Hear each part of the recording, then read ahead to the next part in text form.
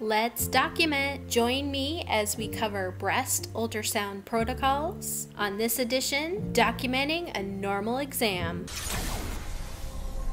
The first step to scanning a breast ultrasound exam is understanding what type of ultrasound exam you're doing. There's two types of breast ultrasound exams, a screening breast ultrasound and a targeted breast ultrasound. For a screening breast ultrasound, the ultrasound is used to screen the breast tissue and or the axilla for the presence of breast disease, and it looks at the entire breast. Indications for a screening breast ultrasound are a patient with dense breast tissue tissue, a high risk patient that's unable to undergo a mammogram or an MRI, a patient with a mental or a physical limitation that's unable to tolerate a mammogram or an MRI, a pregnant patient. When patients are pregnant, we generally will start with an ultrasound exam first to reduce the risk to the fetus. However, you can do a mammogram on a pregnant patient. You just shield the abdomen and the pelvis. The next type of breast ultrasound exam is known as a targeted breast ultrasound. And rather than looking at the entire breast, this type of ultrasound is targeted to a specific region of the breast and or the axilla. And the purpose is to answer a specific question. Indications for a targeted breast ultrasound are to evaluate a patient's symptom, to follow up a mammogram finding or a finding from another type of imaging study like an MRI, or to follow up a prior ultrasound exam, such as a six month follow up. First, First, let's talk about the protocol for a screening breast ultrasound. And this is the protocol when the exam is completely normal and you have found zero pathology. It's important to know what images to take. The first thing that you need to do is to split the breast into quadrants the upper outer quadrant, the upper inner quadrant, the lower inner quadrant, and the lower outer quadrant. And you are going to scan each quadrant in both breasts, both the right breast and the left breast, in both the radial and the anti-radial planes. For each quadrant, you're going to document two negative images. A negative image means that it's just normal breast tissue. And it's really important in these images to make it look like normal breast tissue because you've already evaluated that tissue and you've determined there's nothing there. So you're saying to the radiologist, hey, I've completely looked through this breast tissue and there's nothing there. And your negative images demonstrate that to the radiologist. Really important to not have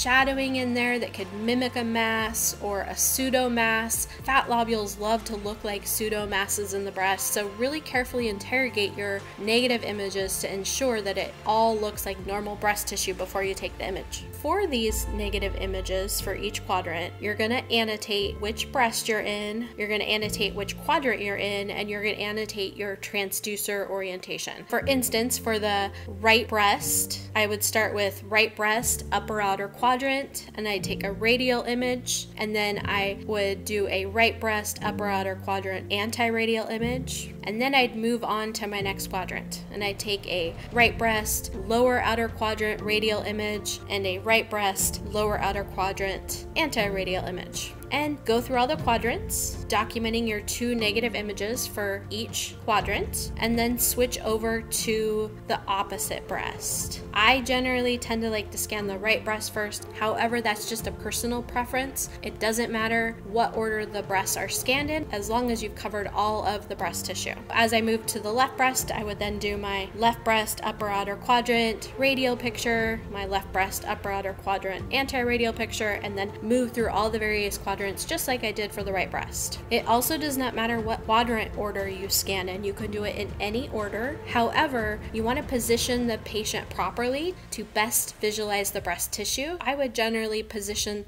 the patient into a lateral oblique position with a wedge pillow behind their back to scan the outer part of the breast, and generally a supine position to scan the inner portions of the breast. I would generally do both inner quadrants and then do both outer quadrants or vice versa. Okay, so we're continuing continuing on with our screening breast ultrasound protocol, and this is for a normal exam when you've already evaluated all the tissue and know that everything's normal. Next, I would move on to the subareolar region. This is annotated SA, and this is the tissue that's back behind the nipple, and you want to scan the tissue that's back behind the nipple in both a transverse and a sagittal plane. when you've looked through that tissue and you've ensured that there's nothing hiding back there, you want to document two negative subareolar images. And you want to annotate them with which breast you're in, SA for subareolar, and also your transducer orientation. For the right breast, I would say right breast, SA transverse, and then right breast, SA sagittal. And then the same thing for the left breast. There's two ways that you can take these negative images. You can take the negative subareolar image where you're angling away from the nipple and not including the nipple in the picture, or you can take the image with the nipple clearly visualized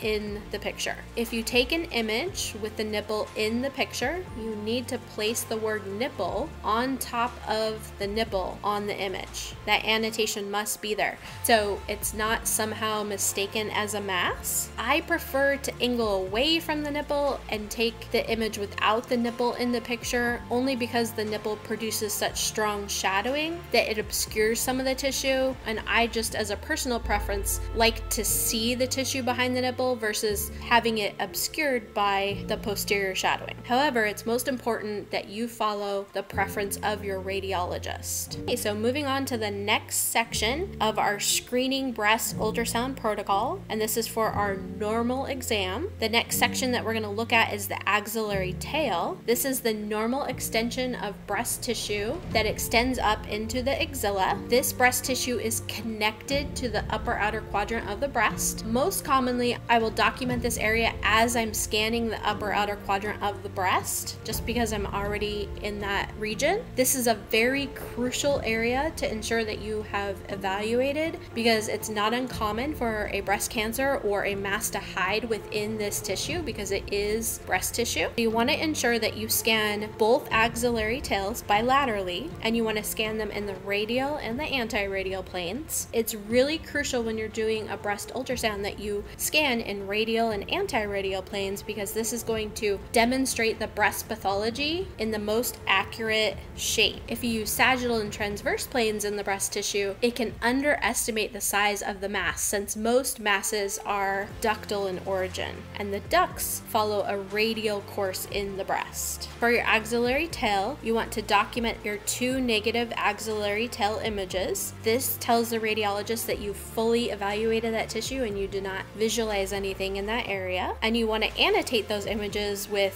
which axillary tail you're in, either the right side or the left, and then also your transducer orientation. For instance, for the right side, you would say right axillary tail, and you can abbreviate this as AX for axillary, and then the word tail, and then uh, radial, and then the next image would be right axillary tail, anti-radial. And then do the same thing for the left side. Now I get a lot of questions about the subareolar region of the breast. Why would I take my negative images in a sagittal and a transverse plane if the best way to scan the breast is in a radial and an anti-radial plane? And that's an excellent question. And the reason is because unless you find a pathology back behind the nipple, it's really hard to figure out what plane is radial and what plane is anti-radial unless you're aligning those scanning planes behind the nipple with an actual pathology. Now let's say I find something at the 10 o'clock position. Then it's really easy to figure out, okay, this is 10 o'clock radial and this is the 10 o'clock subareolar anti-radial image. However, if I'm just taking a general subareolar picture, it's really hard to figure out, well, what's radial and what's anti-radial because you're not in a specific quadrant of the breast and there's no reference point. So unless you have a pathology there to use as a reference point to which plane is radial, you definitely want to use sagittal and transverse just to document your negative image because then you can actually tell what is sagittal and what is transverse back behind the nipple. Now, if you have pathology behind the nipple, you want to document that pathology in radial and anti-radial planes. And your radial plane will be radial to the mass and your anti-radial plane will be anti-radial to the mass itself. All right, moving on to the next section of our screening breast ultrasound protocol. And this is for a normal exam, and that means you've evaluated everything and it is normal. There's no pathology that you've visualized. The next section we're going to talk about is the axilla, which is abbreviated AX. I've included this section because it's important to know how to document things in the axilla. However, some breast centers will include the axilla within the screening breast ultrasound protocol, and some breast centers will exclude the axilla as part of the screening breast ultrasound protocol. So it's important to follow the protocol of your site. For the axilla, you want to scan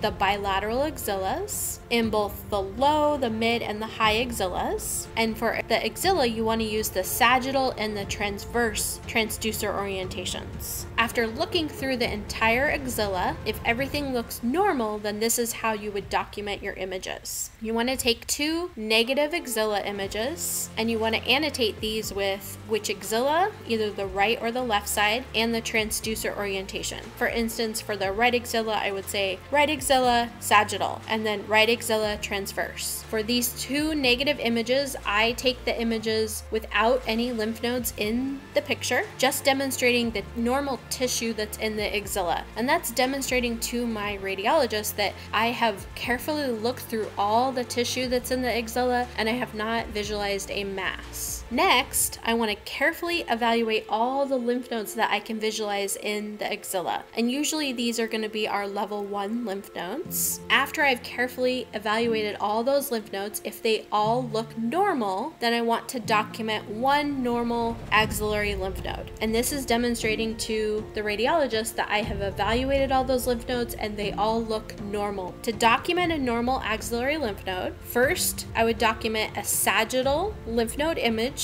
without measurements, and then a sagittal lymph node image with two measurements, both the length and the height. And note that you really want to follow the longest lie of the lymph node. If that longest length longest lie of the lymph node is not exactly a horizontal position, that's okay. If it's slightly oblique, as long as I'm getting the longest length. And then I want to take a sagittal lymph node image with color Doppler, demonstrating that hilar blood flow pattern. Next, I'm going to move on to my transverse plane, and I want to take a transverse lymph node without a measurement, and then a transverse lymph node with the last remaining measurement, which is the width, and then a transverse lymph node with color Doppler image. Note, it's not important which transducer plane you do your measurements in. You can do two measurements in a transverse plane and one measurement in sagittal, or you can do two measurements in sagittal and one measurement in transverse. The most important thing is that you are doing a length, a width, and a height. One of the biggest mistakes that I see new sonographers making is that they like to do a length, a height, and a height. A length measurement should be horizontal on your screen, and a width measurement should be horizontal on your screen, and a height measurement should be vertical on your screen. That's how you know the difference. So you should have two horizontal measurements and one vertical measurement. If you have two vertical measurements, then you've done two heights and you are missing a whole dimension of your lymph. Okay, time to move on to a targeted breast ultrasound protocol. Note that this is for a